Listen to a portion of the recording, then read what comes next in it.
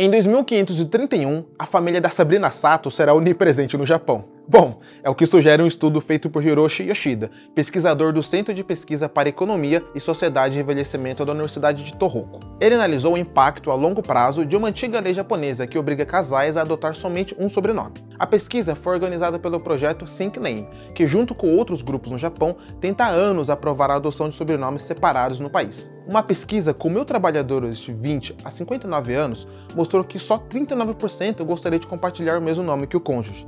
A lei japonesa existe desde o final de 1800 e o país é um dos únicos do mundo a continuar a adotar esse tipo de medida. Em 95% dos casos, é a mulher que fica com o sobrenome do marido. Sato é o sobrenome mais utilizado no Japão, sendo compartilhado por 1,5% de toda a população. Entre 2022 e 2023, o número de Satos no país cresceu a uma taxa de 1,0083.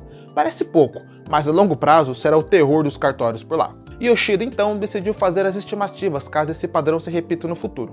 Ele calculou dois cenários. Um em que a lei relacionada ao sobrenome permaneça e outro em que ela mude. No cenário atual, em que os casais não podem optar por manter os nomes separados, metade da população japonesa terá Sato como sobrenome em 2446. E, finalmente, em 2531, serão 100% dos japoneses. Caso a lei mude e os casais possam optar por escolher ou entre manter os sobrenomes separados ou adotar o de um dos parceiros, em 2531 somente 8% da população se chamará Sato. O receio dos grupos que pedem a mudança na lei é que o país perca aspectos culturais relacionados às famílias e nomes tradicionais. Assim, nomes como Watanabe, Yoshida ou mesmo Suzuki, que é o segundo sobrenome mais comum por lá, desapareceriam completamente. Yoshida diz que a pesquisa foi feita com base em um cenário assumido, sem levantar em conta outros fatores que podem influenciar em 500 anos de história. Mesmo assim, ele diz que o objetivo é trazer à tona a questão para a sociedade japonesa, mostrando quais as consequências que podem ter caso o sistema no país não seja revisto.